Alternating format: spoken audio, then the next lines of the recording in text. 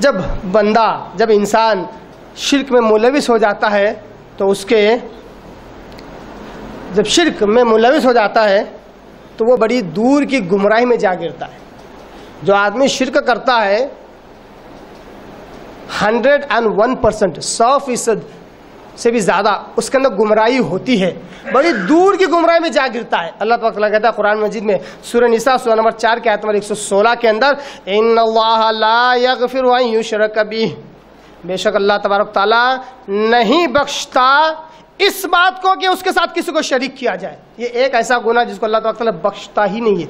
मर गया, अल्लाह के पास पहुँचा, अब कुछ भी कर ले उसकी बख्शिश नहीं होने वाली।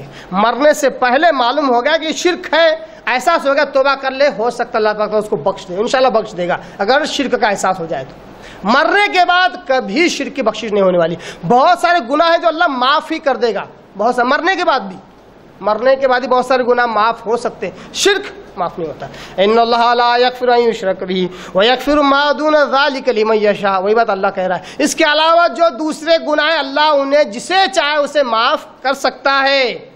और आगे अल्लाह कहता है वह मयुशरिक बिल्लाही, जिसने शिरक किया, अंजाम क्या है उसका? फ़कद गलम बईदा। वो बड़ी दूर की गुमराही में जा गिरा। कैसे जा गिरा?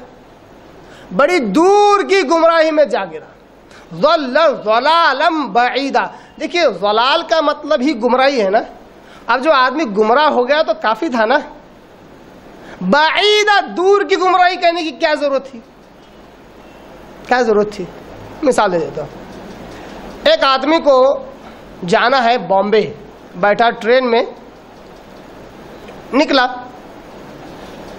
अगर बॉम्बे की तरफ़ जा रहा है तो ज़ाहिर सी बात है अपनी मंजिल मकसूद तक पहुँच जाएगा। है ना? सीधी राह पर है, राय हक पर गामजा ने जा रहा है।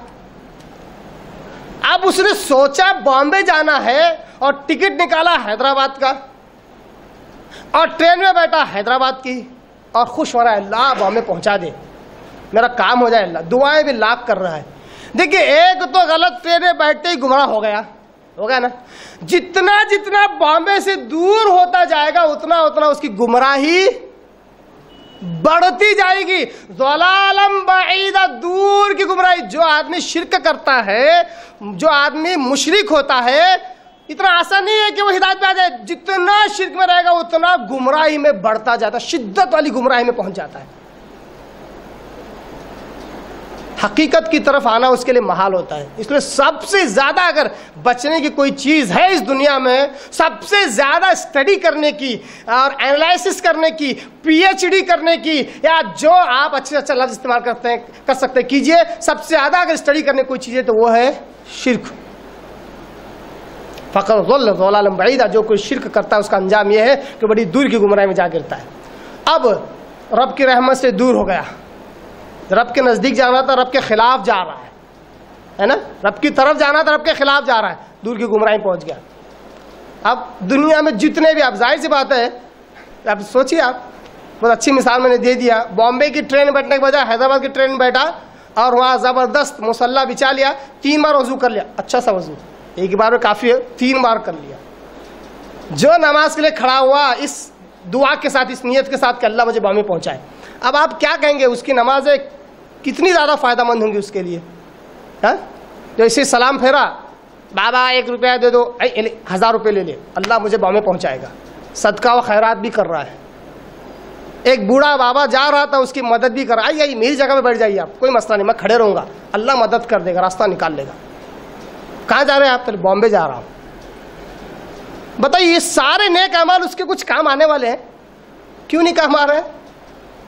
दुनिया में ही उसके सारे अमाल बर्बाद हो रहे हैं। नेक सारे अमाल, क्योंकि अपोजिट डायरेक्शन में जा रहा है। गुमराही की तरफ़ जा रहा है। पता भी नहीं उसको।